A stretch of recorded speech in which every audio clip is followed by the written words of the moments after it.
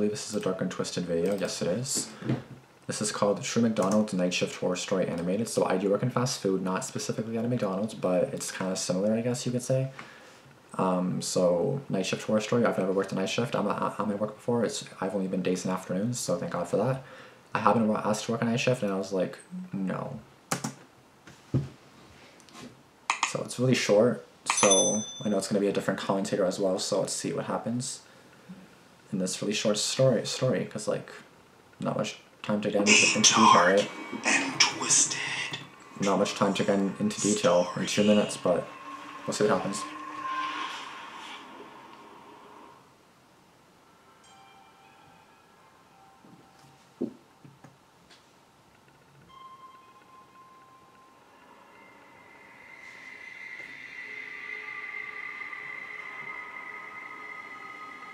It was 15 minutes till my girlfriend got off work, and I had just arrived to pick her up.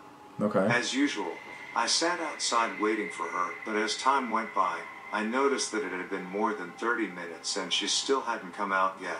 Sus. So I texted her and asked her what was the holdup, but after five minutes, she didn't text back.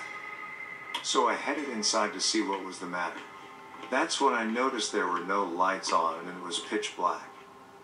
Then I Definitely noticed the door and was half open. Oh, So I walked inside and called out for her, but there was no answer. that, that's So I walked to the back to see if she had maybe fallen asleep, and that's when I noticed a muffled voice coming from the bathroom. Oh no. And when I walked inside, she had been tied up with duct tape over her mouth. Oh my god. So I untied her and removed the duct tape from her mouth. She told me that some crazy masked man had come in and demanded money. And when she refused, he tied her up and duct taped her mouth shut. Oh my god. The cops found the robber on the side of the road with a flat tire. But the worst part about this story was, the man that robbed her turned out to be her own brother who had been troubled all his life. Being robbed is bad enough, but when it's your own sibling, it's oh the my god, right? Yeah, because it's a masked man, Don't right? forget to Wow. join my Yeah, that story definitely felt really, really, really, really short, like extremely short. Okay, um, that's just crazy. That that's crazy. Um, again, to get robbed, obviously, knock on wood, I've never experienced any- anything like that. I don't really want to.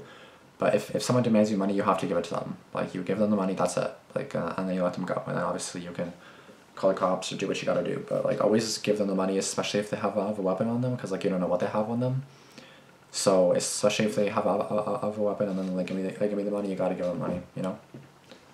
And then you just gotta hope at that point that they get caught, and that's all you can really hope for. But all I gotta say is to all fast food store employees, anywhere employee that you deal with customers and people, be safe, stay aware, and always give money if they demand it, because you never know what they'll do or what will happen if you don't follow their orders. So please listen and obey, because you may die and it's not worth your life just to save some money right? Especially because they could get caught in the end. So definitely try to give the money and just stay safe guys. That's all i really gotta say. Not really much else to say to be honest. It was, it was a really short story but yeah I ne- i never deny because then they're just gonna especially if they have a, have a weapon. Maybe he didn't have a, have a weapon that's why she was like no but it's ter- terrifying to think that like it's kind of like it's terrifying to think that's your own brother like, you know what I mean? That's crazy to think that's your own brother that was doing it. Like, that's crazy. Wow. Okay, that's going to be it for this video, though. Please be sure to subscribe if you're new. Be sure to comment down below your thoughts on this video. Be sure to turn on post notifications as well. And if you want to suggest anything, please go to my Instagram and, and send me, send me a private message on Instagram, and I will respond to you hopefully within a couple hours, and we can talk if you want. So, that's going to be it. Thanks for watching. Peace out.